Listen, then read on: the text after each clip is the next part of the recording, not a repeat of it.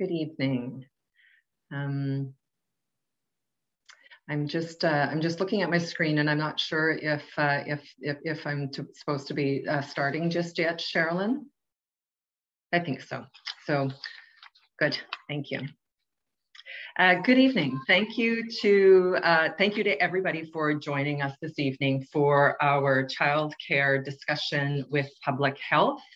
Um, as we start our discussion tonight, I'd like to let you know that this, um, the, the, this session is being recorded and it will be made available on the Province of BC's YouTube page and the Childcare BC Health and Safety page will link to that. Um, over the past month, uh, we've, we've received dozens of letters and emails from, from you in the childcare sector. And these have been sent uh, directly to Minister Chen. Uh, they've been sent to Dr. Henry, and they've been sent to Childcare BC and the Ministry of Health. And many of you have asked questions uh, specifically about the Omicron uh, variant, um, our updated guidelines that were posted just on the 19th of this month questions about isolation practices for children, both when to stay home and when to come back when it's safe.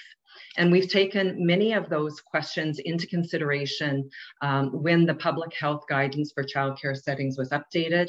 And we want to use our panel discussion this evening uh, to both provide clarity on some of those updates and answers to the questions that we have heard uh, coming in from childcare providers. Um, additional questions can also be submitted this evening anytime during this information session through the QA feature that is available at the bottom of your Zoom window along the ribbon at the bottom. So feel free to uh, type your questions into the QA feature and time permitting select questions will be answered uh, during this session. Um, afterwards, our Child Care BC stakeholder engagement team will follow up with any unique questions that have not been addressed by already by the panel um, or that have not been addressed in the guidelines and we'll share out the information uh, on those questions through future communication. So tonight, um, I myself personally am joining you from the traditional territories of the Lekwungen speaking peoples or the peoples, peoples, I'm sorry, known today as the Songhees and Esquimalt First Nations. And I'd like to acknowledge that um, all of us carry out our work on the territories of more than 200 First Nations in BC, each with unique cultures and languages and traditions. And I'd also like to respectfully acknowledge the Métis and Inuit peoples that are living in communities throughout British Columbia. I wonder if we could each in our own uh, places, please just take a moment in silence to consider the territories from which you are joining us this evening.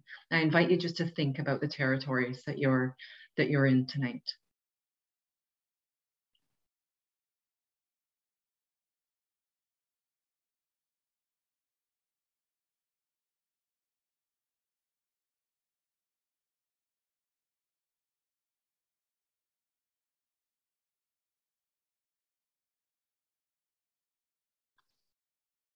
Thank you for your silent acknowledgement of the territories that you're all joining from. Um, now, I would like to introduce the Minister of State for Childcare, Katrina Chen, to open our evenings with her comments. Thank you so much, Shannon. This is Katrina Chen, BC's Minister of State for Childcare. Before I begin, I also want to take a moment to acknowledge that I'm joining you from the unceded traditional territories of the Coast Salish peoples. And I also want to begin by taking a moment to say thank you to everyone who's joining us here tonight, whether you are a childcare provider, early childhood educators, parents, and families. This is a really difficult time for many of us. Thank you so much for taking the time out of your very busy schedule to join this very important discussion. And also thanks to Dr. Bonnie Henry and the public health professionals and doctors here with us tonight to provide more clarifications and support everyone to go through this ever-changing situations together. And I want to especially acknowledge the stress the childcare sector is under and the difficult role you have in trying to keep facilities safe for families you serve. For many of you, this is also on top of dealing with staffing shortages. And we hear your concerns. And that is why we've been taking notes of your questions and passing them on to our public health colleagues so they can address your concerns directly tonight.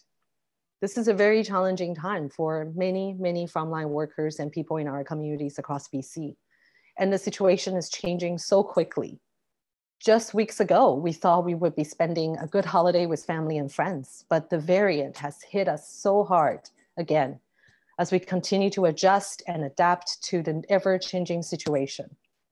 And this is also why yesterday we've announced that we will be providing rapid tests to childcare providers. We have secured 250,000 tests that will be distributed directly to childcare operators. We still have a few uh, logistical details to work out, but please be rest assured that we have those tests to you as soon as possible and you'll be delivered right to your door. In addition, I am pleased to share that we have been working hard and ensuring that we can provide additional health and safety funding with more details to come in the very near future. Please watch for more information on both of those supports in the coming days. And as always, our ministry will continue to work closely with public health and with our COVID childcare working group to support the work you do. And now I would like to turn the session back to Shannon and all the public health experts so we can get right to your questions. Once again, thank you so much for being with us here this evening. And most importantly, as a parent of a young child myself, thank you so much for your critical work and dedication for the wellness of children and families throughout BC communities. Please take care.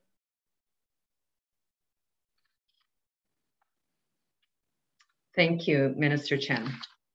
Now, let's get right to our discussion. I'd like to start by introducing our panel members. Just looking for them to, great, good, here they are. So joining us this evening on our panel is Dr. Bonnie Henry, Provincial Health Officer for British Columbia. Dr. Reka Gustafson, who's the Vice President, Public Health and Wellness, Provincial Health Services Authority, and Deputy Provincial Health Officer. We have Dr. Jason Wong, who's the Associate Medical Director of Clinical Prevention Services for the BC Centre for Disease Control, and Dr. Mark Lysyshyn, Deputy Chief Medical Health Officer for Vancouver Coastal Health thank you all for joining us this evening and thank you for um, giving us your time and expertise. Um, as we get started, uh, just to start off our session, I'd like to invite uh, Dr. Bonnie Henry, uh, please just to ma maybe make some opening remarks and, and, and give us some context for our discussion tonight.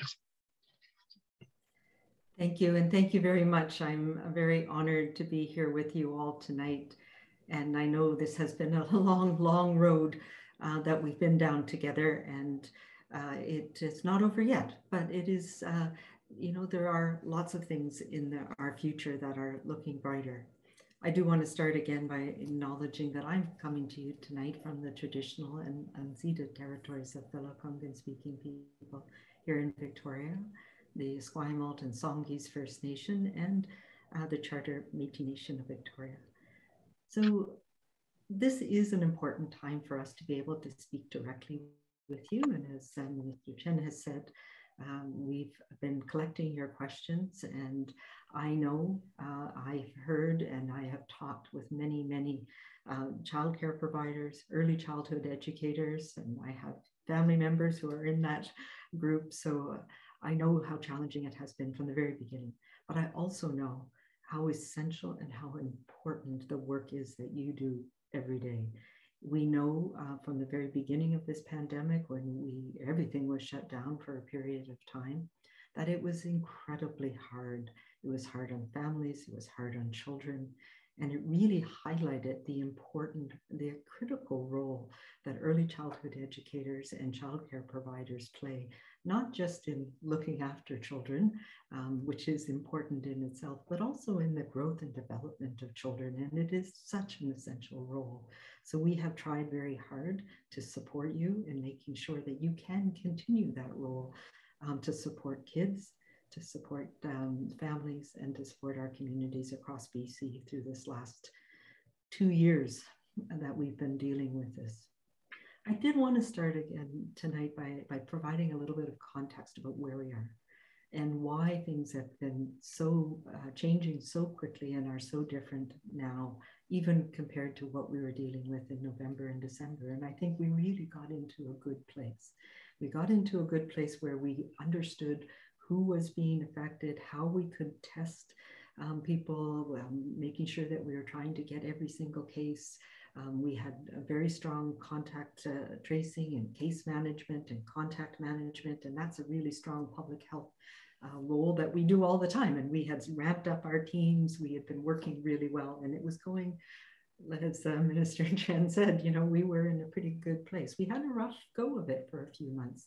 Delta was causing very severe illness, especially in young people and especially in younger people than what we were seeing from previous strains, and especially in people who had, didn't have the protection of vaccination.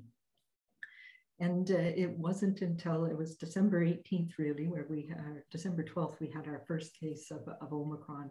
And when uh, the South Africa identified that this was a strain that was different and was spreading really, really rapidly. And of course, by the time we looked for it, as everybody else did around the world, we found that it was here and it was here in large numbers. And it very, very rapidly replaced Delta. And now, um, you know, 90, 95% of everything that we're seeing in COVID in, in British Columbia across the board is um, uh, caused by Omicron. So, what is different about Omicron that makes us have to respond differently. Um, I, I, said this in December 21st, and then again on the 24th, where we put additional restrictions in place here in BC. It was because we were trying to put all of these pieces of a puzzle together you know, was it causing more severe illness or less severe illness? Was it spreading faster or was it uh, causing more illness in people who were vaccinated or unvaccinated? Was it causing more reinfection? Uh, was it uh, more people ending up in ICU? Who was being affected? All of these things that we didn't know about this new strain. All we knew was we were seeing hundreds and then thousands of cases a day. And we knew that uh, things like hospitalization, leg, that, that rise in cases by about two weeks before it starts, and then the peak lags by about another week. And then, and we knew that our healthcare workers were strained and stressed and tired. And uh, we also knew from um, experience with other viruses that if the things that we were seeing happen in places like the UK and in places like South Africa and a little bit ahead of us in Quebec and Ontario, were, were going to play out here, it meant that we would see a very, very rapid peak. And we needed to do things to try and settle that down so that we could understand more. So we took some measures, I put in some orders, closed a few things down um, in December. And unfortunately, that meant that we had to have quiet holidays. But we did, you know, it, worked here in BC. It worked. And we were able to flatten our curve much more than what was expected had we continued with the same level of transmission that we had. And over this past, um, really, it's been five weeks since we've really had this uh, takeover in BC. We come to understand two things. One of the most important ones that we know now is that Omicron spreads much more rapidly. The average incubation period has gone from five, six, seven days to two, three, four days. What that means is that tool that we have called contact tracing and case management is no longer effective. It takes time before you realize you're sick, before you get a test, before that test gets reported to public health, before we can contact you and then contact your people that you've been in contact with during the period you were infectious. What happens with Omicron is that all of that is compressed and we're seeing what we call the generation time. So I get infected, um, I realize I'm sick. And by the time that happens, the person I was in contact with before I even had symptoms myself is starting to show symptoms and has passed it on to somebody else. So this is um, this is what we're faced with now with this strain of the virus. It's not that we don't want to do contact tracing, it's just it's not viable, it's not possible when you have a virus that's spreading that quickly to so many more people. And that's why I think everybody on this call tonight, I'm sure, knows at least somebody who has COVID. And that is really, really different from even a few months ago. So it is spreading in a different way. It's spreading much more rapidly. The, and it is spreading in people who are vaccinated and unvaccinated. So what we are seeing is that yes, vaccine, which was highly, highly effective at preventing even infection um, from Delta, is less effective. We are seeing that it probably 30 or 40%, so it does reduce your risk a little bit, but it, um, it means that the whole community is now at risk of getting infection. But we are also seeing that vaccination makes a huge difference in the how se severe that infection is.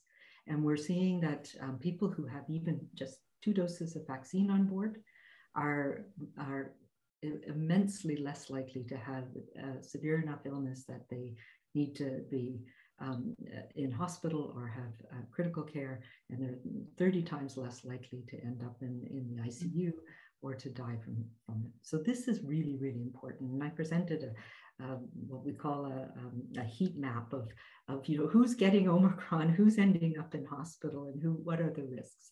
And some of those risks are very much the same as what we've seen with every other strain of, of the SARS-CoV-2 virus that's come through here in BC.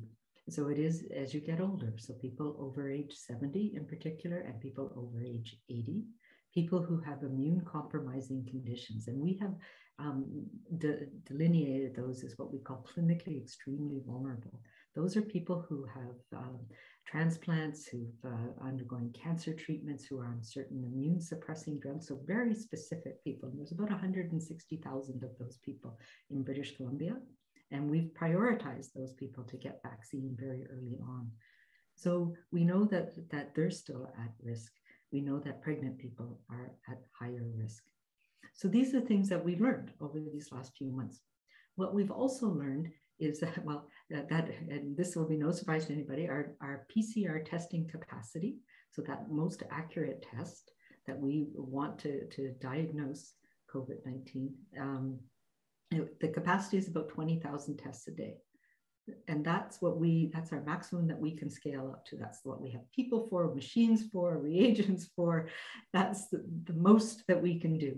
And what we are seeing and what we're seeing across the country and around the world is that way more people are getting infected. And so we've had to change um, our our strategy for testing because as i was mentioning it's spreading much more quickly. And because so many people are vaccinated in, in bc most people are having mild illness that they recover from very quickly. And a test is not going to make a difference in about how they manage their symptoms and the risk that they have of, of um, ending up in hospital. So we needed to preserve our, our uh, more accurate PCR tests for those people that were more at risk so that we knew that we could uh, make sure that they had what they need um, to prevent them from going into hospital. We have some treatments that are available, uh, a new one, Paxlovid, but another one, um, what we call a monoclonal antibodies, sotrovimab. So these are really important things to help us manage individuals who might need extra care to prevent them from getting extra sick or from getting into a hospital. So that's what we needed our PCR testing for. And we needed it to, because the other thing that we see when, when this type of a virus that's spreading so rapidly is going through communities is that people get sick with it and workers get sick with it and families get sick with it, which means healthcare workers get sick with it. And at the same time that we were seeing the surge in people um, needing hospital or getting sick with this and needing hospital care, healthcare workers were getting sick with it as well. So we needed to make sure that we had testing for healthcare workers so we could ma manage that risk and keep our healthcare system going. But we also recognize that um, the data was showing us that people who um, were vaccinated and have mild illness, they tend to get over it really quickly with Omicron, and they're less likely to shed virus for a longer period of time. So that's why we were able to change that period of isolation.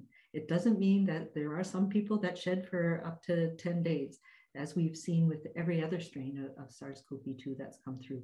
But it does mm-hmm. mean um, that the milder illness, you're less likely, and we've seen it fall off. So the risk of, of shedding live virus so you can infect somebody else after, after five days with Omicron is about 15%. So what we are doing is, is balancing those risks and the need to have people getting back and when they're feeling well, getting back to work and school and, and childcare and education and everything else is mitigated.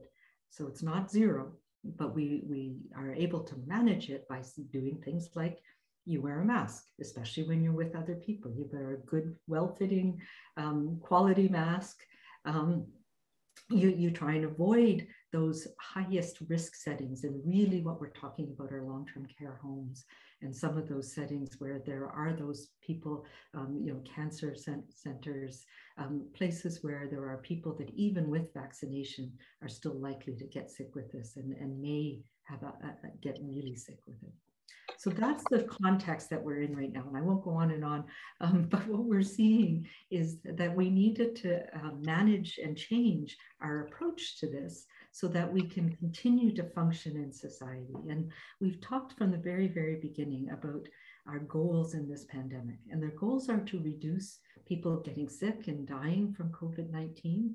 It, it's to preserve our healthcare system. And we saw this um, really in the in the north in particular in in October and when the health system was so overrun with people with serious illness from COVID that um, people in Salmon Arm had to go to uh, another community to deliver their babies. People could not get cardiac care. We had to move 155 people who needed um, uh, ICU care and ventilator care from the north to communities across uh, the south, whether it's Vancouver, the interior, Vancouver Island, because we our healthcare system couldn't keep up. So we, we have all of these things that we want to do, that we need to do and we're taking these measures to manage COVID. But the other really, really important one is to minimize the disruption on society. And we saw that when we closed things down in, in March of 2020. It was hard on families. It meant that people were off work and it was meant that families were at home. It meant that, and those have health impacts. They have health impacts on children, they have health impacts on families, they have mental health impacts, they have emotional impacts. So, all of those things we have to take into account as well. And now I know, uh, you know, now we know a whole lot more about this virus. We know about the effects that can happen if we, if people are off of work. We've learned a whole lot more about who in our community needs to be at work to support our community functioning at all. And early childhood educators, childcare providers are definitely in that group along with healthcare providers, along with police and our fire services and our grocery store workers and our pharmacy workers. And we've learned so much about how dependent we are on each other.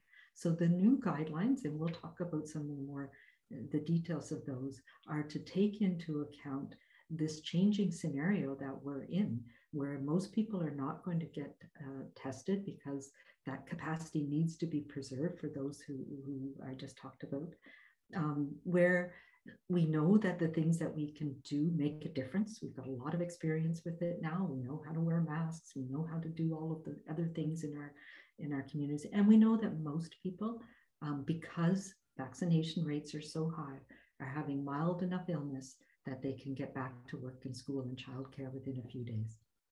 So I'll just start it with that to put some context of what we're dealing with right now. And I want to say that I am so grateful for all of the work that you do. And I know it's been so, so challenging um, keeping up with all these changes and trying to know what's affecting mm-hmm. us and what's affecting K to 12 and how does this all work together. And so I'm hoping tonight we'll be able to share some of that information with you and that. Uh, we can all go forward with a bit more confidence about how we're going to get through this next few months. Thank you. Uh, thank you, Dr. Henry, for that opening context. I think it's helpful to to understand sort of the stage that that that we're on in, and the time that we're in. So I, I do appreciate that. Um, now I'd like to move into talking about uh, about the guidelines themselves. So the the the, the uh, childcare guidance uh, document uh, was updated on the 19th of January, so just a, just a, a little while ago, maybe a week ago, um, along the the same time that the guidance for the general population also was updated. So there was some changes in in the overall population advice as well as in the childcare settings, and I think there was um, you know sort of three areas within the childcare guidelines that perhaps um, you know draw drew the most attention and the most questions, shall I say, from childcare providers. And Dr. Wong, I'm going to uh, invite you, please, if you could uh, speak to the specific changes uh, in guidance related to um, isolation and to uh, the definition of a close contact, and then also about symptoms. Dr. Wong. Sure. Thanks. Thanks so much, Shannon, and, and thanks, uh, Dr. Henry, for I think laying out the context because I think the two are, are, really related as to um, you know what we know about Omicron now. You know, given the month and a little bit experience, and but also experience from other uh, other jurisdictions around the world as to how Omicron behaves and the impacts it has on um, kind of the guidance that we recommend for uh, childcare, uh, but also I think the general population at large. So I'll, I'll maybe go in reverse order for what you just spoke. So sure. I think uh, Dr. Henry kind of spoke a bit just to um, uh, how Omicron behaves and, and how the um, uh, and how the transmission is, is most likely really within the first five days, but really I think mostly in the first two days as well. Um, and so there was an overall change to, uh, to the uh, self-isolation uh, recommendation. So this was not just for childcare, it was across uh, the general population. Uh, and so we are recommending that adults who are vaccinated or fully vaccinated, as well as children, uh, isolate for five days if they test positive for COVID-19, and adults who are unvaccinated to self-isolate for 10 days. Um, and so there, there were updates to the to the guidance to reflect that uh, those recommendations in the in the population. So that's one of the the recommend one of the, the changes in the in the childcare guidance that um, want to draw people's attention to. Um, the other you mentioned was around um, just close contacts, or I think the general concept of contact tracing. Uh, and Dr. Henry also spoke to this as well. So just with this, the, the rapidity of how fast or how easily Omicron is spreading, uh, many people are exposed to, uh, to, to Omicron or COVID-19. Uh, and so the utility or the effectiveness of contact tracing is much lower now um, it, with, I think, the volumes of, of, of cases of Omicron um, but also just how widespread it is. Uh, and so one of the other changes we, we, we made was also to, to, rec- to, to no longer recommend that people who are exposed to COVID-19 or Omicron uh, self-isolate. So as long as you don't have symptoms, uh, you can continue to, to um, return to your regular activities. Uh, but we do advise or recommend that people do continue to monitor for symptoms of COVID-19, particularly because some of the symptoms can be quite mild. Uh, but this is, I think, not different, just given how widespread exposure is. So whether or not you've been notified that you've been exposed, uh, that we do recommend that people monitor for, for COVID-19 symptoms. Um, and then the third change that I just wanted to bring up, I'm trying to about what it was now. Um, uh, I think it was I might have forgotten. What was the third one that you wanted to it highlight, Shannon? Certainly, it was about the symptoms themselves. Yeah, the symptoms. Thank you. Thank you. So, so uh, the other piece I think was uh, around the impact of those testing guidance and how we wanted to focus those testing resources on people who would most likely to benefit from it. So people who are more likely to be at higher risk for severe illness. Uh, and so for most people, uh, we don't recommend that they get tested for COVID-19. And so if people do have symptoms of COVID of, of COVID-19 or just other respiratory infections, uh, we recommend that they uh, stay home until they feel well enough to return to their regular activities. And I, I think one of the questions that we often get asked is, well, that could be one or two days. And I think, yes, theoretically, it could be one or two days. But I think our experience in the literature suggests that if it is COVID 19, it does not tend to be one to two days. It does tend to be a bit longer. Uh, and so this was kind of general guidance that we could provide so that people can, um, can continue to, to manage. Uh, I would say not only just COVID 19, but respiratory infections as well. So, like influenza and other types of respiratory infections. Um, so I think those were just kind of some of the, the key or the most substantive changes in the guidance that was released last week. Um, and I tried to also include some more context as to, you know, what, what do we know about Omicron? But I would say, Dr. Henry, you did a much better job of trying to explain that because there is quite a lot of nuances to that that is challenging to capture in the guidance. Um, but that's just in a nutshell, I think, what are some of the things that we wanted to, to uh, include in these updated uh, guidance. Great. Uh, thank you, Dr. Wong. Um, just before I go on with the other, uh, the uh, with uh, some other questions that we have, I'm I'm just going to pause actually and retrace my steps. I should have mentioned at the beginning uh, that we do have a closed caption function available this evening. If anybody would like to use the closed caption function, and you can turn that on by clicking on the live transcript button, which is just at the bottom of your screen. So I apologize for not mentioning uh, that earlier. Okay, um, so thank you, uh, uh, Dr. Wong, for that um, for that sort of overview of the isolation guidance, um, and a little bit more on the close contact and symptoms. Um, I do want to ask you, though, just if you don't mind, just a question of clarification on on the symptoms themselves, and and and actually just in particular on the runny nose symptom.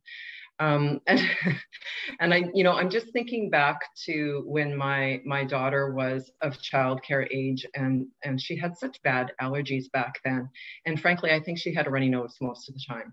Um, so I'm wondering if you can talk about symptoms that are common to COVID, um, as well as, as other causes, or as you're mentioning, other respiratory diseases. And what is a parent or childcare, excuse me, what is a parent or childcare operator to do when, when something seems a little bit complicated like that? Sure. So I, think the question, if I'm understanding correctly, is like, so if people have some of these milder symptoms, uh, what what do they do?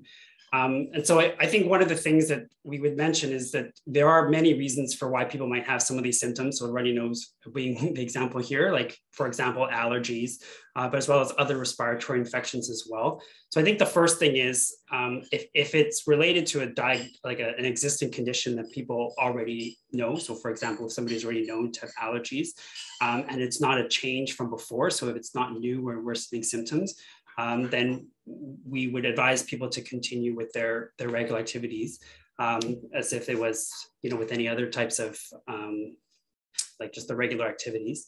Um, and then, uh, that, so I think that's probably kind of trying to help provide some of those guidance. I, I, mm-hmm. might also share, I think this is some of the experiences that I have working as a, as a family doctor as well, is that many times I see in the in the pediatric world and for children, the parents really know what's normal for their kids, uh, and that sometimes you know some of the the behavior of their kids is just you know parents can often say you know it's just really unusual for them. They're a little bit less active, they're a bit more lethargic, or they're not eating as well as they used to. And so sometimes I think I would just suggest the parents just be mindful of what their child child's normal activities are like, and so if they have a runny nose and maybe you know not eating as well, you know that might be suggestive of something more than just allergies. Mm. Um, and so you know I, I often rely very much you know in my clinical uh, judgment on parents and their assessments as well as to what their child is like. And so you know part of the the guidance we do you know recommend that parents uh, monitor their kids or uh, for for symptoms, uh, including some of these kind of more vague symptoms um, but also to encourage their kids to talk about um, when they have symptoms and what that's what they're experiencing. Great. Thank you for that. Um, okay, so now jumping into some of the questions that we've uh, received from childcare providers uh, and parents over the last little while. Um, and, and just about the vaccination status. We know that vaccination is important for the protection against um, all variants of COVID. So uh, one of the questions that we've received and um, um, Dr. Lysyshyn, I'm hoping you can uh, perhaps answer this, is um, how is it safe for an unvaccinated child who has been directly exposed to COVID, um, perhaps by a, a, parent that has tested positive, to come into a childcare setting? Um, so uh, our childcare providers are saying that they don't feel safe uh, working with them as they can't wear a mask because they're they're too young, um, and the childcare provider themselves can't physically distance from the child in the in the setting. So I'm wondering if you can address the safety of, of uh, the fact that children are unvaccinated and may be exposed to, to others. Yeah, well, we, we've heard that with the Omicron variant, COVID has really changed for us. Uh, it's become an infection that's much more transmissible and is much less likely to cause severe illness, particularly in young children and particularly in people who are vaccinated. It's really an infection that acts a lot more like other seasonal respiratory viruses that we're very familiar with in society, like influenza. So we need to shift our management uh, much more to how we manage those types of viruses. And the most important thing that we can do to keep people safe is stay home when we're sick. And so that's what we're talking about. That is the most important measure to keep people safe. We're not recommending that contacts stay home right now because there's widespread transmission of the virus in the community. And so um, people may know about certain exposures, but you know they're being exposed in other ways as well. And so it's just not um, a feasible strategy across our population uh, to have contacts all be isolating right now. So we also know that kids are less likely to get COVID. They're less likely to transmit COVID.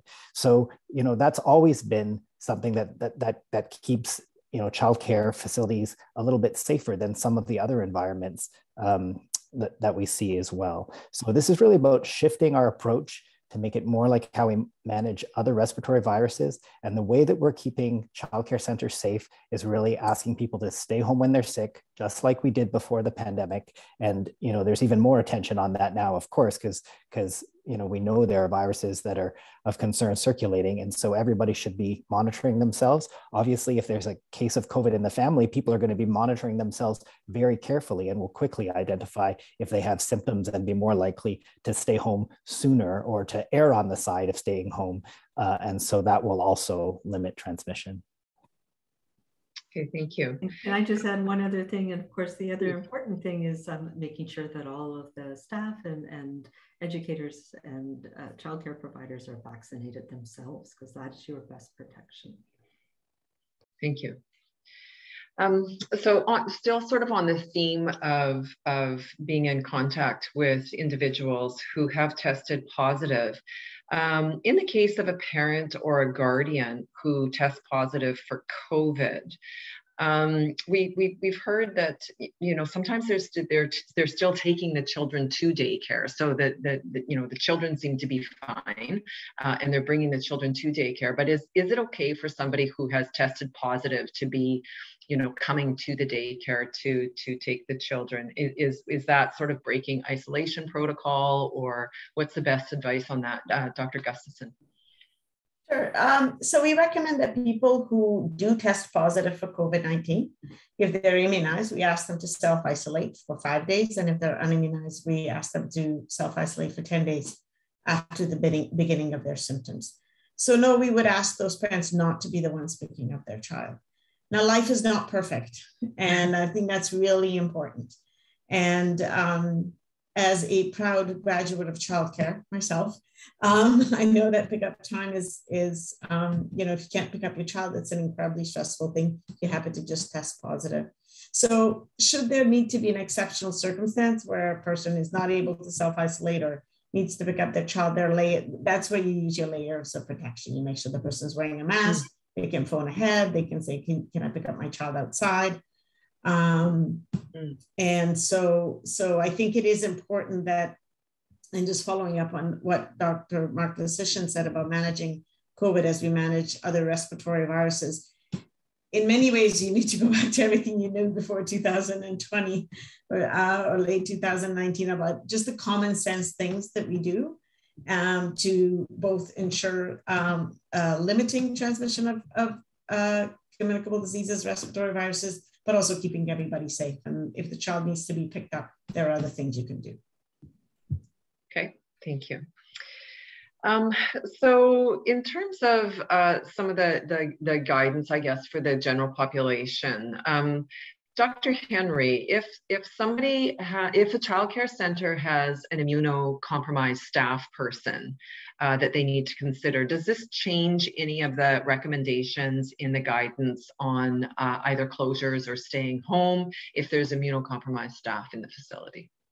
Yeah, so the, the we always have to, to be aware of, of the risks that people have. But uh, the, the bottom line is you need, as an immunocompromised person, to be able to do all of those things that protect you best, which is getting vaccinated yourself, making sure that you're wearing a mask, that you're taking all those precautions to protect yourself. And those things along with all of the other measures that are in place in the daycare, should protect everybody, including people who are immune compromised. But it is incredibly important, once again, to reiterate the, the value, um, particularly for people who have immune compromising conditions of vaccination. We know that for some conditions, um, uh, you need a third dose as part of the primary series, but for everybody, and this is another thing that we've learned in this short period of time, um, that yes, we're seeing people who are vaccinated um, get infected, um, but that booster dose makes a big difference. It makes a big difference in about 50 to 60% protecting you from infection altogether, including um, uh, boosting your, your, your chances of not having a more severe infection. I think I said that in a backwards way. But uh, so really all of the things that are in place um, make it uh, a low risk environment even for people who are immune compromised. And keeping sick people out of that environment is really, really important. And making sure we're doing everything we can to protect ourselves by being immunized is really, really important. I don't know if the rest of you would add anything to that. No, doesn't look like it. Okay, good. Thank you. Um, uh, just in terms of the isolation period, so Dr. Wong, you talked about the isolation period of, of uh, five days for, for folks that are vaccinated. Correct me if I'm wrong, five days for folks that are vaccinated in children and 10 days for individuals that are not. Um, right so far? Yeah? Yeah, okay, good. um, and um, and that uh, and also that that individuals can turn to return to their daily activities when they're starting to feel better. So we have had some questions come in about what is the definition of when you feel well enough to participate in activities, um, and feeling like uh, childcare providers are feeling like maybe that's not quite clear enough in terms of allowing uh, children back into the facility, or maybe even parents trying to to to figure out what that is for their their own um, families. Sure. So, um, I mean, I think a, a, lot of us have been sick before and kind of know uh, it can kind of take the wind out of you for quite a bit. Um, so I think part of it is, you know, uh, this type of uh, self-awareness, I guess, of like what what you can do and what what is normal for you. Uh, and so that is kind of the, the type of guidance. And I and I, I, I appreciate how it's a little bit vague. Um, but some of the the challenges with with COVID is it's um, you know the the when, when one is when one is you know not going to to spread virus anymore is not exactly a like a it, it doesn't switch on and off. And so we do know that as people start to feel better that the the chances that they spread uh, covid-19 is lower. And even i think mm-hmm. dr henry even begun in the beginning that most of that transmission is really happening in those very early periods. Uh, and so we are asking that people kind of reflect and to say how how they're feeling to think about how they're feeling um, and typically when they are feeling better, the risk of transmission is much lower. Um, and so that is kind of the, the type of guidance that we're, we're trying to provide in, in, order to support people to be able to kind of transition back to their, to their regular activities following an infection. I think one, one of the key symptoms that we always look for is fever. You know, mm-hmm. when when people still have a fever, they're still sick. And so often, you know, we recommend people stay home from work and school when they have a fever. But you know, if they still have a bit of a sore throat or a runny nose and those symptoms are getting better, uh, then then those are the kinds of symptoms that that you could return back to work or school or, or daycare. Um, you know, we know particularly with COVID, sometimes people will develop a cough and that will persist for a long time, mm. uh, well beyond the five days, but that doesn't mean that people are infectious. So, you know, the, the one symptom that we do ask people to really look for is, is fever. Um, you know that's one where you would stay home but the, the others as long as they're improving and you're having the energy to go to go back then you can go back. Okay super. Uh, that, just that's note it's fever without taking uh, i mean it's um, not taking antipyretic medication so not taking the tylenol and motrin to bring your fever down. You know being uh, because that really it's fever is one of those things that your body's telling you you know something's going on and you need to rest Thank you. That was a, re a, really helpful conversation. I know we were getting questions in through the Q and A about uh, you, uh, about exactly what you just said, Dr. Lysyshyn, about what if, what if some of the symptoms are lingering. So I think that was a really good um, a really good piece of advice for people to tuck into their into their pockets, if you will. Um, okay, so let's talk a little bit more about uh, vaccinations, if that's okay. Um, um, Dr. Henry, can you, many people have asked why there isn't a vaccination mandate for childcare providers. And uh, parents have expressed that they're concerned about taking their children into a facility uh, where the provider may be unvaccinated. So, you know, therefore, why not mandate it? Yeah, so I, I, think there's been a lot of talk in a lot of different scenarios about mm-hmm. uh, vaccine mandates and whose responsibility is that and where does it come from and uh, and I think what people are, are thinking about a lot is a provincial health officer order that requires people to be vaccinated in order to do their job. And there's only one setting where that is in place, and that is healthcare workers. And for a variety of reasons, it's because it is, if we look at the legislation that I work under, the, the Public Health Act, it says that you have to really believe that there is a health hazard that exists and that this is a requirement to um, manage that health hazard. And the only setting where um, the responsibility falls to public health to manage that risk is in healthcare. And particularly, uh, we started with long term care, but also acute care. And so it, it, has been so, so important that we do have this vaccine mandate for all healthcare workers in all settings across the province. And that's one of those things that's um, allowed us to, to manage with a lot of people off with mild illness around this last period of time. Um, it's kept us from having severe illness in healthcare workers and the risk of transmitting it to people who are very vulnerable to having severe illness themselves. So whether that's seniors and, and elders in long-term care or people who are in hospital in critical care. So there are many different reasons why we have a public health order that has mandated vaccinations for, uh, for healthcare workers.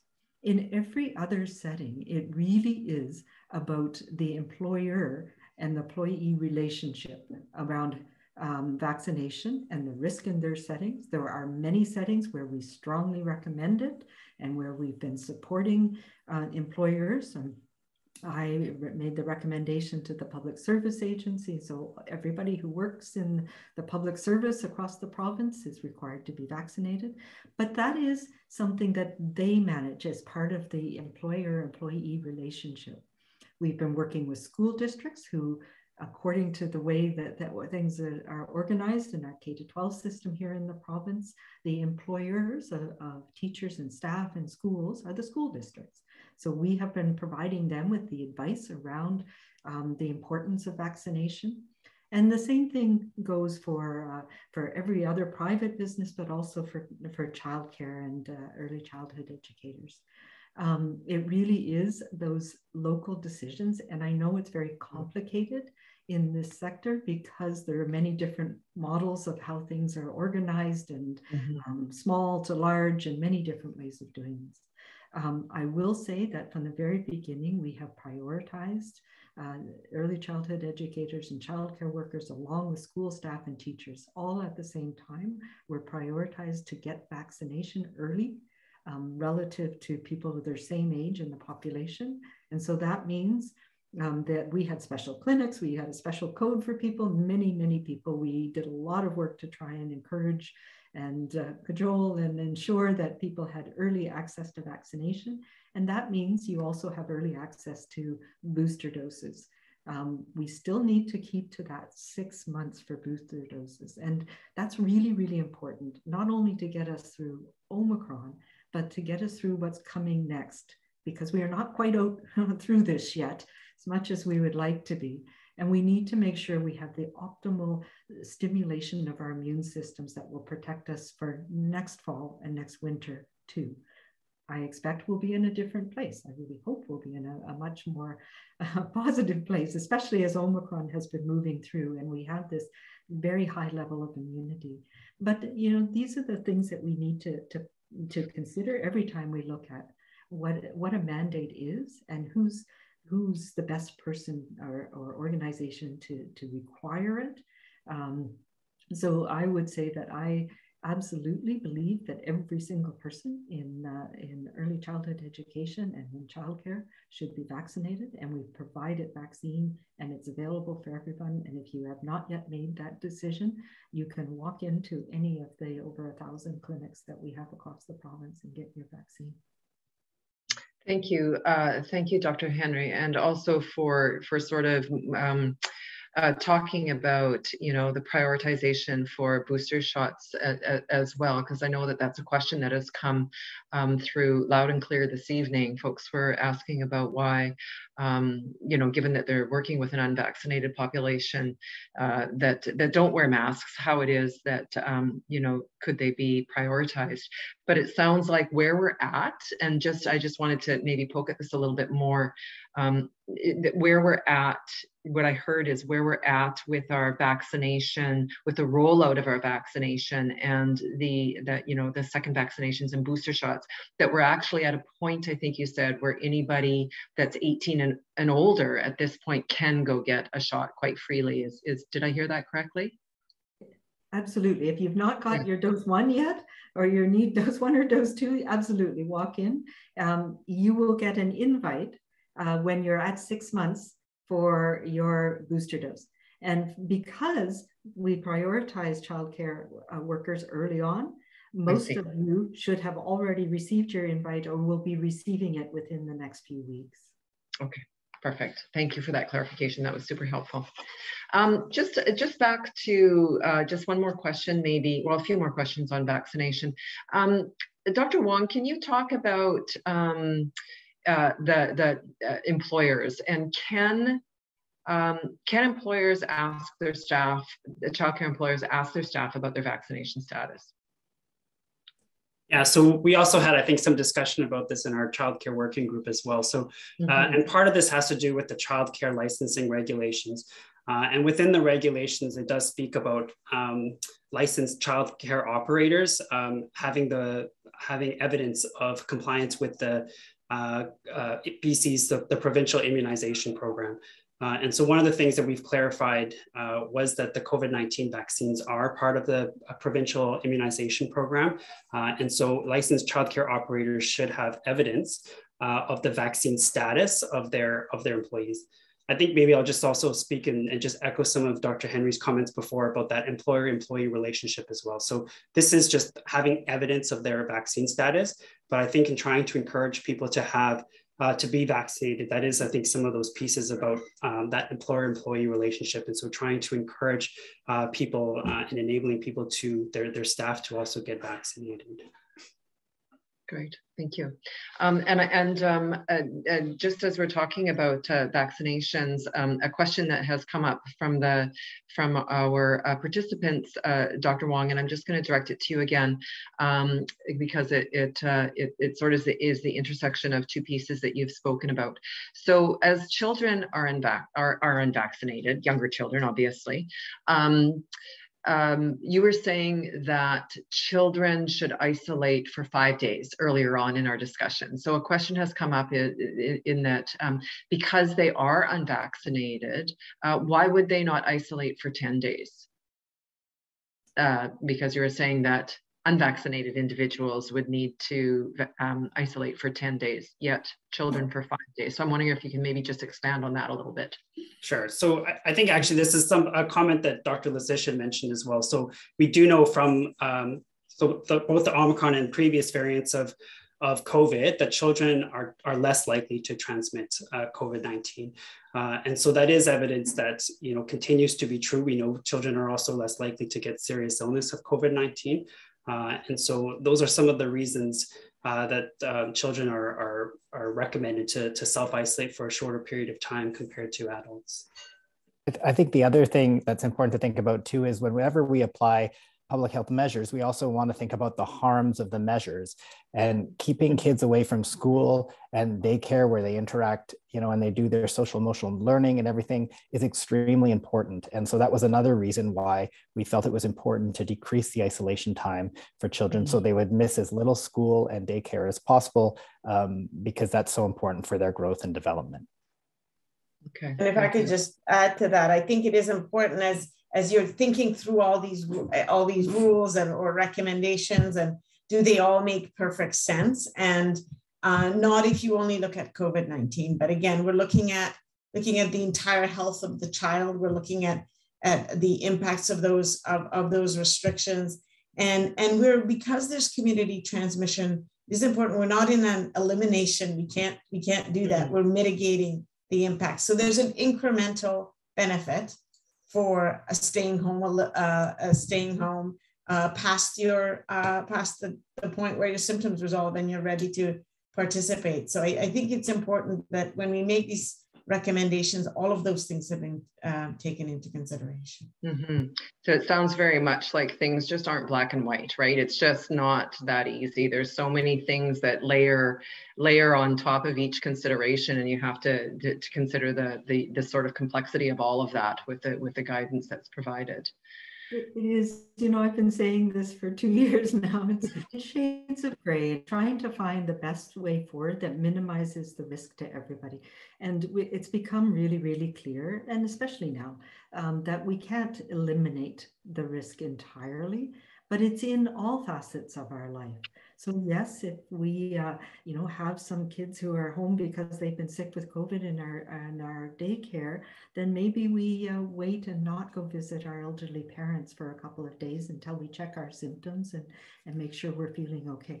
These are all decisions we're going to have to start doing ourselves um, because we aren't able to test everybody all the time. Yes. And you know, um, I wonder if if this might be a good time to talk about rapid tests and how this fits into all of this because um, just um, that same thing. Yeah, we, we, I mean, we're all really excited to hear the announcement uh, just yesterday, I think it was, about the um, up to 250,000 uh, rapid tests that have been secured for the childcare sector.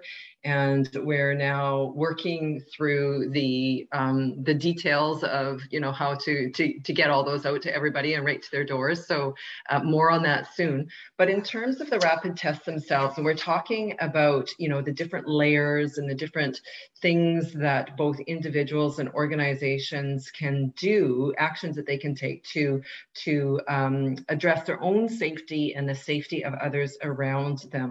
So Dr. Henry, I'm wondering if perhaps you can talk about how does the rapid test fit into this concept of layers of protection? Sure, and, and I'll start, and I, I think the, the rest of the gang can um, add in. So uh, very clearly, and I've said this from the beginning, you know, rapid tests are a tool, and they provide some benefit. But where they provide benefit is when people have symptoms, and they hmm. are a red light, not a green light. So it means if you test positive and you, you have symptoms and you test positive, then you should stay home for five days or 10 days, depending on your vaccination status. If you test negative, then you have to uh, look at all of the things that we were just talking about. How bad are my symptoms? Um, can I go into work?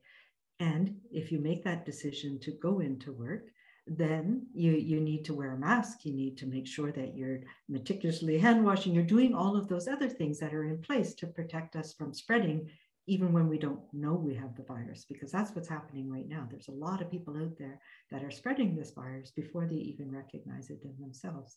So the rapid tests are not going to be a panacea. They're for mm. staff, therefore not for children in the daycare or the child uh, early childhood education center they, they um, and we we don't actually recommend using them in children under age five because it, it's the, the swab is actually quite hard and, yeah. and large so it is um, so it is one thing that we can use and we've started to use them in uh, in K to 12 as well for the same reason is for uh, um, staff who have mild symptoms and can test and determine if it's COVID. So it's a red light, not a green light, as I said. You still need to be cautious, and it's uh, you need still need to be on orange if it's negative, um, but it can help you uh, determine if it is COVID. Um, and in the school setting, as we get more and more of these rapid tests, one of the challenges we have had from the very beginning is there are many different types of rapid tests. And mm-hmm. these ones that we're talking about are what we call lateral flow tests, or they're, they're little pregnancy tests. Um, they're at home tests, and they're designed to be done by yourself at home, um, not by a healthcare provider. And we've only recently got quite a few of these, like several million of them. Um, up until uh, December, the rapid tests that we have were ones that were not easily converted into ones that could be done at home, although we did do that with several hundred thousand of them. And we have others that are used in a, a healthcare setting where you can get a set um, where or by a healthcare provider. So it's one of those ones where the nasopharyngeal swab, they tickle your brain, and it, it needs a machine or it needs a um, somebody who's uh, trained in how to use them.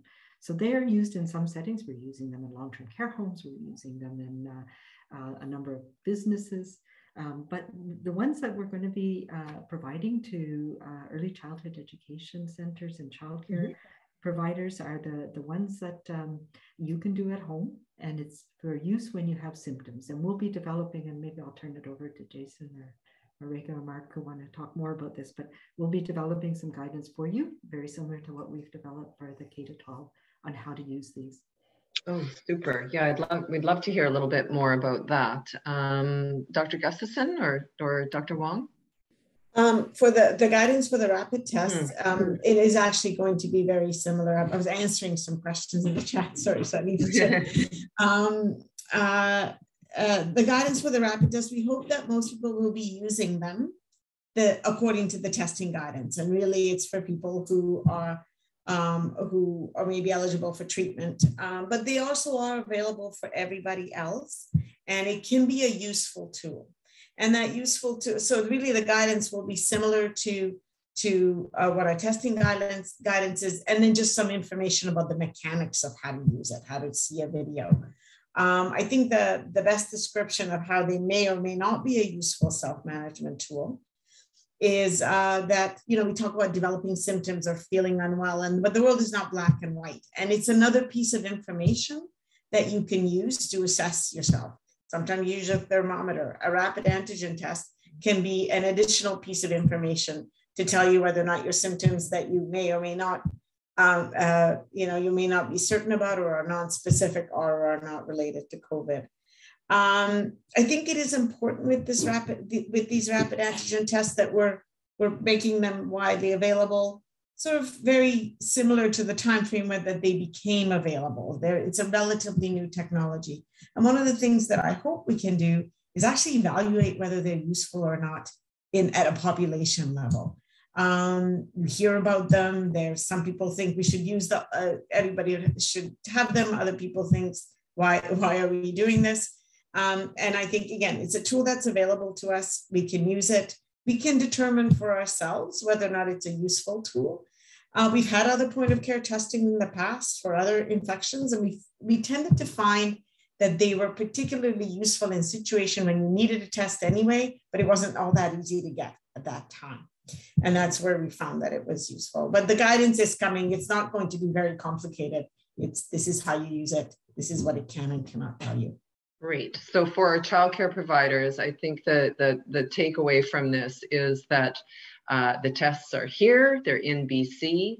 Uh, they will be coming to your door from, you know, sent from, from, from the Ministry of Children and Families to your door, but the guidance will be coming from BC CDC and we'll be, we as ministry will be receiving that from you and posting it for the, the sector. Does that sound about right? Yes, and I think the other thing to keep in mind is that they, again, they will be useful. They will be potentially useful, but it's also important not to sort of think that you can't function safely without them. Um, right. The guidance, almost all of the guidance we have in place is really in the absence of rapid antigen test. It's an additional tool that's available to you when it comes to your center. And I, I, am very hopeful because uh, these lateral flow tests, and as Reka said, they've only recently become available. I had we had heard from the federal government that we might be getting them back in October, November, and I was quite excited about that because I think they will be helpful for us to, to make decisions about our own family and our own uh, concerns on a day-to-day basis or on a periodic basis if we have cold. And I think they'll be future, uh, they'll be really helpful in the future for whatever we're dealing with next in, in terms of COVID. So um, we are getting more and at some point, we'll have enough that we'll be able to give them out to people across the province. And we can use them for those days when we have, uh, we have symptoms and we're not sure. Um, and we're not sure how to manage them. And it can help us um, make those decisions for ourselves and for our children. Um, right now, not youngest children, but for older mm-hmm. children for sure. Mm-hmm. Mm-hmm. Great, that's super helpful. I like the um, I like the the simple. Um, it, I know it's going to stick in my mind, Dr. Henry, what you said that um, it's a green light, not a red light. I think that's a really, a really. No, no, no. it's the opposite. It's no, the other way around. Obviously, positive. It's a red light. it's red light, not a green red light. light. not a green light. But but it's you know it's a really good thing to just uh, remember, just about as a mantra and uh, and that it is uh, uh, something that is a part of the the mix of um, protections that people can use and not a panacea, as you say. So um, thank you. Another piece of information that we can use to make those decisions about, do I need to do something different today? Do I need to um, maybe postpone that visit to my immune compromised friends or uh, postpone that visit to the long-term care home to see my loved one? you know, those are the important things that these uh, these can support us in doing on a day-to-day basis. Yeah, because I, I think Shannon, you you were going to ask a question is well, what should people do if they have symptoms and they test yeah. negative? And this is that this idea that it's not a green light. So you know, if yeah. you if you test positive, then it's clear what you need to do. You need to isolate for five to ten days from your symptom onset. But if it's negative, then you have to go back to assessing your symptoms, and you have to decide: Are my symptoms compatible with me going back to work or to school or to daycare and if not then mm-hmm. you need to continue isolating until they are so that that may end up being five days it may end up being only two days mm-hmm. but you know if you still have those, those significant symptoms like a fever and you've tested negative that that doesn't mean you should go back to work, school, or daycare. It's it, you know you you need to wait until that fever resolves. But it does you know so it gives you some information that you don't have to do the five to ten days, or you might not have to do the five ten to days. But it doesn't mean that you can just go back to to your regular mm-hmm. activities. Mm-hmm. Um, and uh, new question: um, any any any idea if uh, if we will be receiving a vaccination for children younger than five? No, I can, I can address that too. Um, there has been uh, studies done by Pfizer BioNTech in uh, six months to five years uh, in children six months to five years of age. We generally, um, the people, uh, children have a developing immune system and they, they don't respond as well to vaccines in the first six months of life. Another reason why it's really important for pregnant people to be immunized because some of those antibodies that you develop when you're pregnant protect your child in that first few months of life. And we've seen that um, be really effective with, uh, with COVID vaccinations too. Um, so Pfizer and um, Moderna is also working on, they're still on their uh, they're doing 6 to 11, just to confuse us all. Um, that hasn't been um, approved for use yet. Um, and the trials uh, that Pfizer was doing in the younger age group with two doses, like we had for the, the 5 to 11 and the 12 to 17, um, didn't show a strong immune response, which was a bit of a surprise. It was a reduced dose, so the pediatric formulation. Uh, same as what we see for five to 11 year olds, but um, what they measure is what we call correlates of immunity. How much antibody and how does that compare to what the protection that we're seeing in older people? And it wasn't there. So they've gone back to the drawing board a little bit and they're looking at whether a third dose is needed for the primary series for younger children or whether they need to up the antibody levels in the vaccine. So the, the, the quick answer is we're not, uh, it's not in the near term um, that there will be a vaccine available for younger children, which is unfortunate because we do know that uh, especially the very young um, can get very sick with, uh, with COVID. Thankfully, not so much with Omicron, but we are seeing a, a rise in, uh, in uh, pediatric hospitalizations. Most of them uh, are short, but uh, they're similar to what we see with things like influenza, where it exacerbates asthma or, or airway disease in, in younger children. Um, but um, so that's that's something that's not in the short-term horizon. I will say one other thing uh, for for anybody out there who's not yet vaccinated, or for who have uh, family members or friends who are not yet vaccinated. Uh, there are two additional vaccines that will be coming hopefully very very soon. We are hoping to have them by now. They're more traditional subunit protein protein subunit vaccines. One of them is produced by Medicago, which is a Canadian company. It's made in, it's a virus-like particle made in tobacco plants. And the other is a, a one that's uh, a, baculovirus from a, a, moth baculovirus vector that hmm. uh, done, uh, that's made um, by Novavax. And both of them have very good uh, protection in the clinical trials that they did. And both companies had challenges with scaling up their manufacturing. So Health Canada is reviewing uh, the submissions for both of these for safety and effectiveness and the good ma uh, vaccine manufacturing um, processes.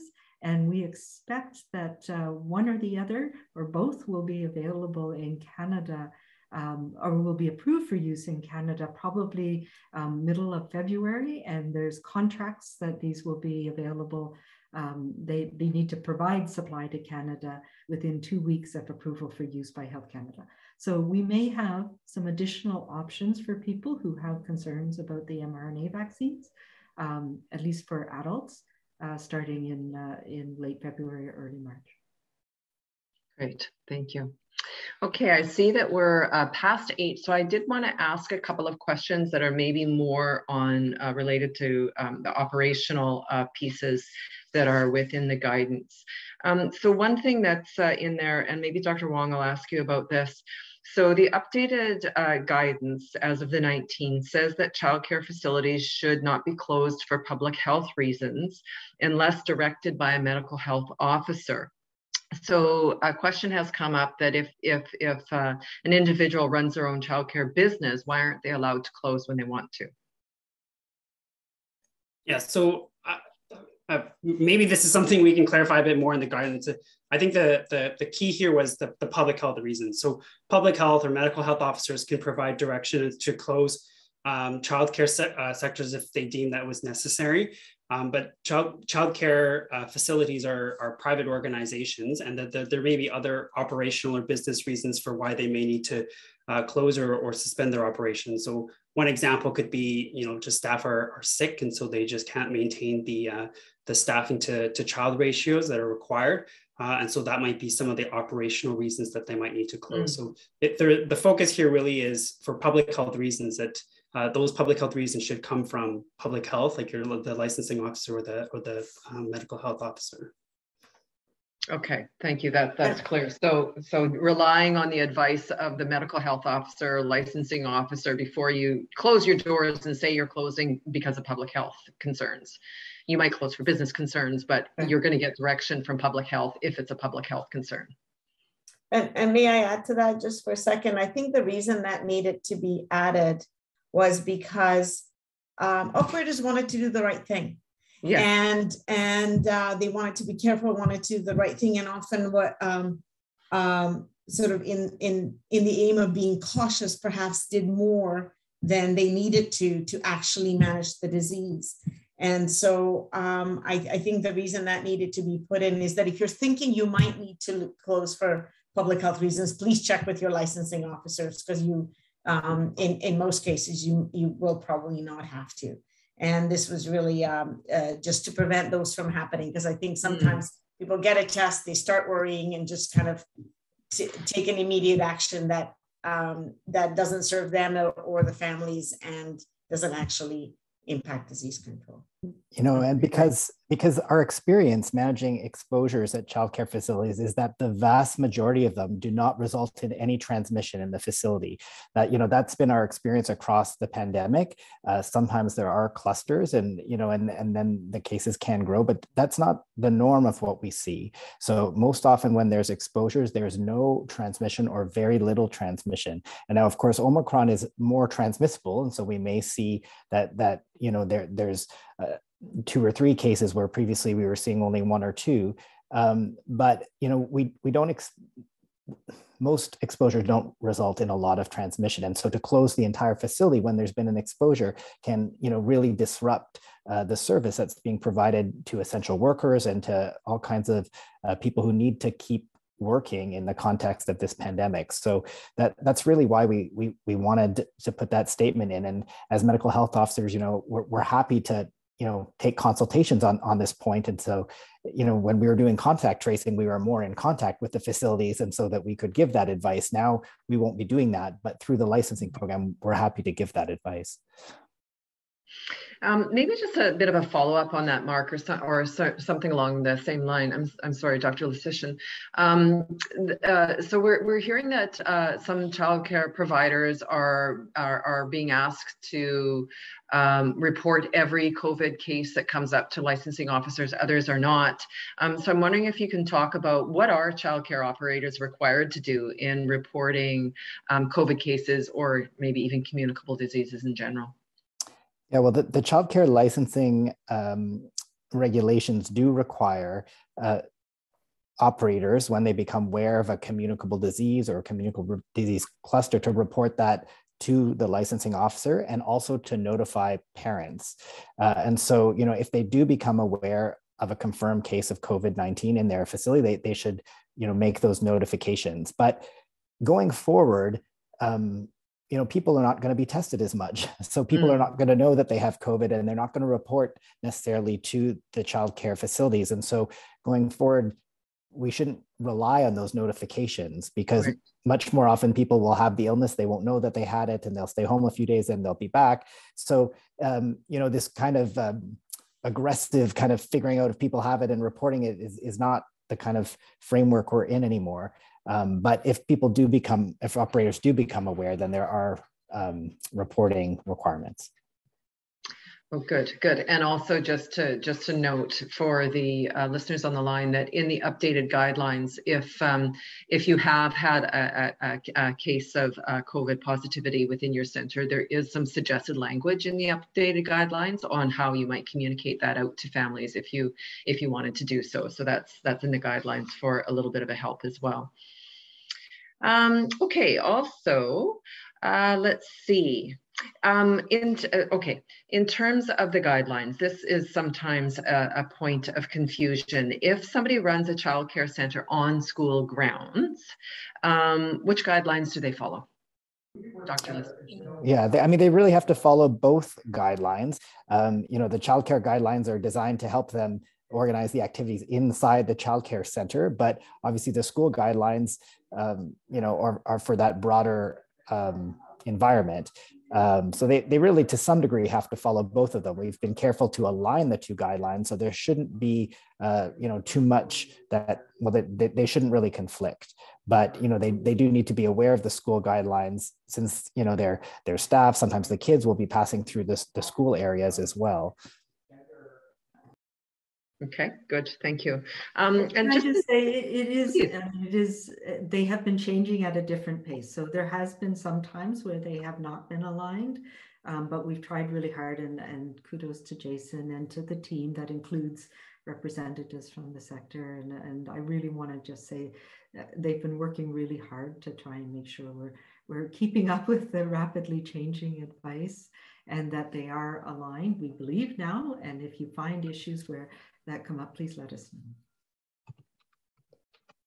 Uh, yes, thank you. Uh, we will. And um, I wonder, uh, um, Dr. Wong, if you want to just take a few minutes and uh, talk about how the childcare sector um, was involved or in, in, the in the development or consultation or how the feedback is used in the development of these guidelines. Sure. And I alluded to this before, this childcare working group, because I think mm. it it does have quite a diversity of, of um, stakeholders on it. So it includes um, from the childcare sector, so childcare operators, uh, licensing officers, uh, representatives from the um, Ministry of Child uh, and Family Development, Ministry of Health, as well as medical health officers. Um, I don't know if I said licensing officers in there as well. So it has quite a diversity of, of, um, of perspectives and uh, so that was uh, some of the places that we got some feedback around around the guidance and some of the practice, I think, as well, like what the on the ground is like as well. So I think that was really helpful mm. feedback. Um, and um, I think actually Minister Chen spoke about this in her opening remarks about some of the feedback that she's received. And I'm not sure if she passed it to Bonnie, who passed it to us, or if it just went directly from us as well. So some of those feedback has also been uh, looked at and, and considered in, in developing some of these guidance. Um, but the last thing I wanted to say was, um, you know, it, it is partially has to do with the change in context and and and um, of like of Omicron specifically, uh, and how the, the characteristics of that virus and and uh, and how it behaves in, in our populations. Um, and so how we responded to it I did also need to shift with it as well. So I, I did also want to kind of bring in some of that scientific and academic uh, piece of it in our experience as well uh, dealing with COVID and Omicron uh, to inform some of the, the ways that we we uh, develop these guidance so that, that was, I think, some of the processes that, that we um, utilized in, in revising these guidelines uh, and continue to you know continue to, to look at um, you know what our science is telling us and and what new emerging things uh, might be happening uh, in order to try to um, manage uh, not just COVID, I would say, but actually other respiratory infections. And so thinking about that in that bigger context of how do we manage uh, the infection and how do we manage that kind of in our society. Great, good. Um, let's see. Oh, this, I, I think I'm just going to ask this as a closing question, uh, uh, uh, Dr. Henry. Um, and this, I think, came up quite a bit in the earlier days of the pandemic, uh, but then um, also just as Omicron was, was really spreading as well. And so the, the question that we've received is about, um, about closures. So given that young children are unvaccinated and the transmissibility of Omicron, um, why hasn't the province ordered childcare centers closed? Uh, so not you know the mandatory vaccination, but why haven't there been orders for closures or partial closures when other types of operations that serve um, a vaccinated population have been ordered to close or operate at lim limited capacities? You know, so we take closures, as we've talked about a few times here, really, really uh, seriously. And we look at where, uh, what are the impacts? What are the impacts to people working there? What are the impacts to the people they serve, depending on the issue? And our aim in this entire pandemic has been to minimize as much as possible that downside impact that closures have. So uh, with Omicron, we closed some of those more discretionary things like those big parties and wedding celebrations and gatherings that because that's where we were seeing transmission happening we uh, put in place the covid safety plans in many businesses again to because the covid safety plans are the things that that work to help um, prevent mm. that transmission even when there's lots of people in the community with relatively mild illness for the most part um, so uh, we made some temporary closures on some activities that were higher risk in indoor settings, like some of the gyms and, uh, and fitness centers. Um, they're now starting to reopen as we've learned more. So it really is about the minimum amount, the least restrictive means to make sure that we can safely get through this period of time. And we've reopened schools, we've re reopened all of those critical, essential uh, services and, and childcare fits into that. So there was, uh, we know the downside impacts on children and on families and on people who work in that sector. Um, but we also know that they can be safely operated and that this is how we have to adjust to make sure that we're giving those important supports to the children in our care. So it, it was not a decision that we take lightly, and we look at all of the impacts, both the what what could be a benefit and it would be very small if we close childhood and a lot of negative impacts on a lot of mm. families and communities. And I don't know, Mark or Reka or, or, Jason, if you want to add to that, because it, it really is something that we um, we we do a lot of thinking and, and uh, about before we close things.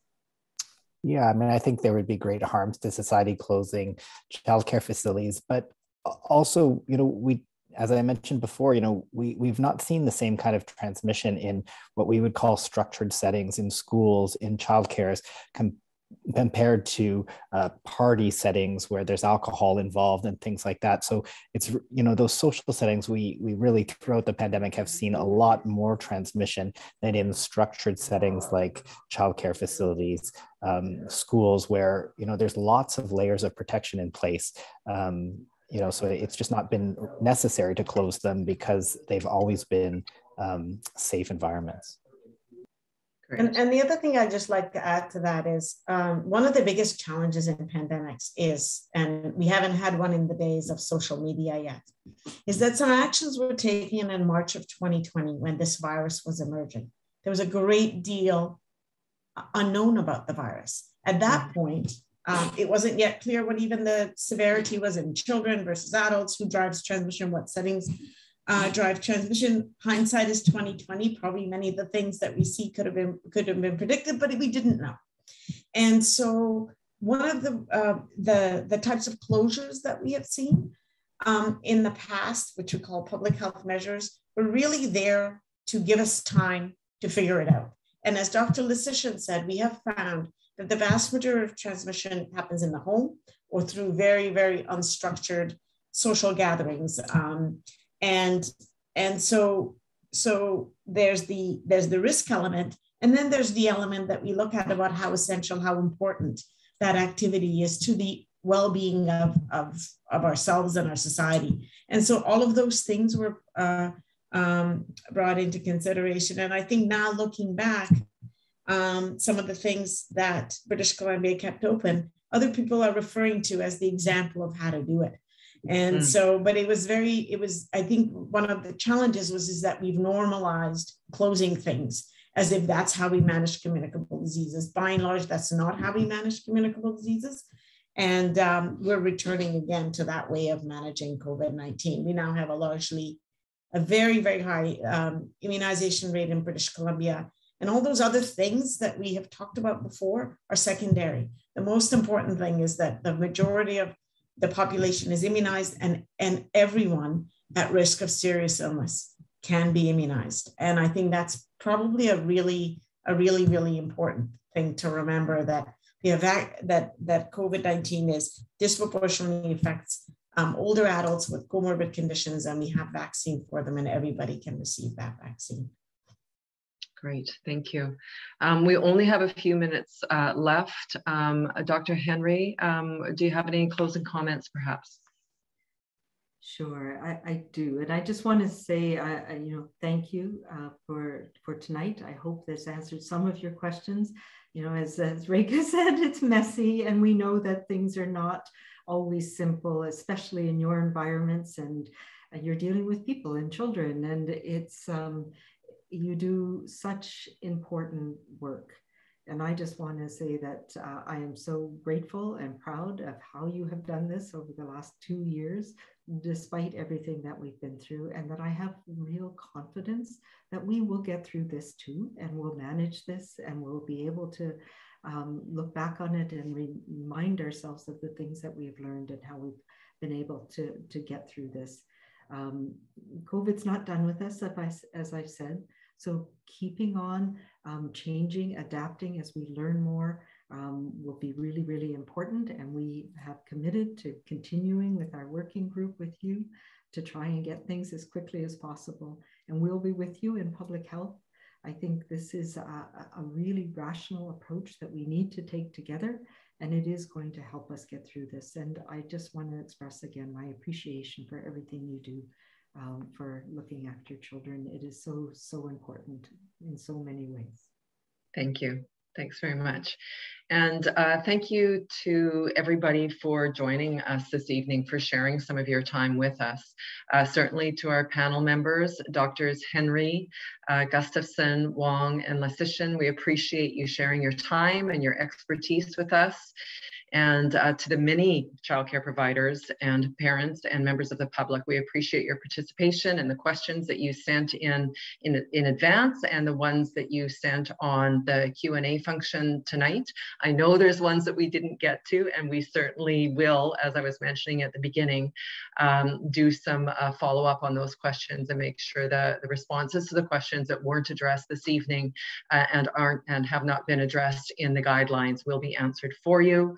Um, as I also mentioned at the beginning, this information session uh, was recorded and it'll be posted to the government's uh, YouTube account and also linked off our Childcare BC health and safety pages.